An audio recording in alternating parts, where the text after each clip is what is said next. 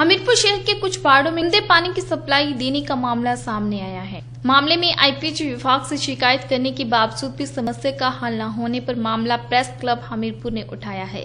Press club Hamirpur के सदस्यों ने आईपीएच के एससी राकेश कुमार महाजन से मुलाकात करके जल्द समस्या के हल करने की मांग की है। साथ ही सदस्यों ने आईपीएच विभाग के अधिकारियों का व्यवहार भी संतुष्टिजनक न होने पर ऐतराज जताया।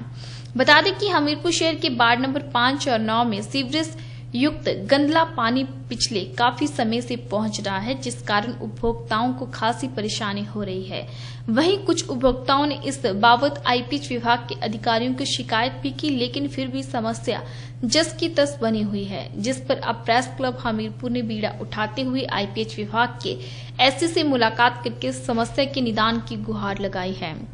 प्रेस क्लब हमीरपुर के अध्यक्ष दिनेश कंवर ने कहा कि शहर में सीवरेज युक्त पानी की शिकायत को लेकर सदस्यों ने एससी से मुलाकात की। उन्होंने कहा कि शहर के लोगों ने भी एक्शन से शिकायत की थी, लेकिन इसके बावजूद भी कार्रवाई नहीं हुई है।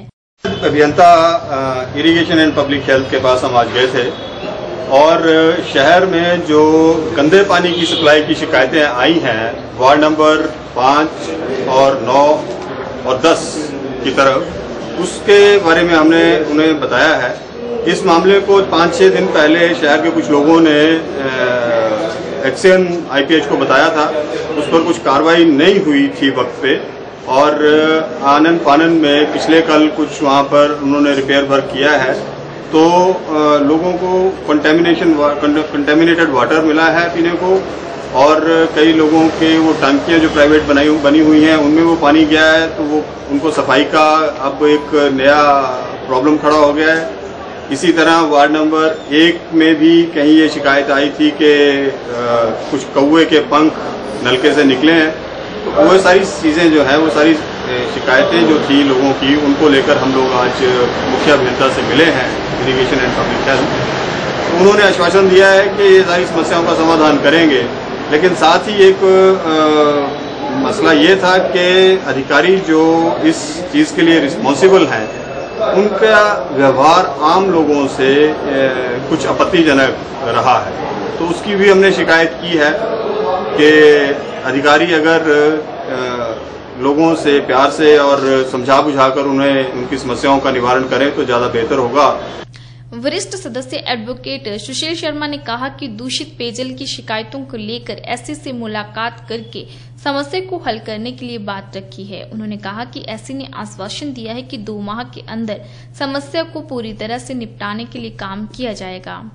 हमीरपुर में दूषित पेयजल को लेकर अभी जो शिकायतें आई हैं, उनके निवारण के लिए कुछ पत्रकारों, मित्र, मित्रों के साथ हम लोगों ने जो यहाँ के मुख्य अभियंता हैं, श्री महाजन जी, उनसे बात की है और उन्होंने हमें आश्वासन दिया है कि दो महीने के अंदर अंदर हमीरपुर में जो दूषित पेयजल की जो समस्या है, उसका तुरंत प्रभाव से निवारण करेंगे और जितना जल्दी हो सकेगा, जो नई स्कीम है, उसको भी जो है, चालू कर दिया जाएगा।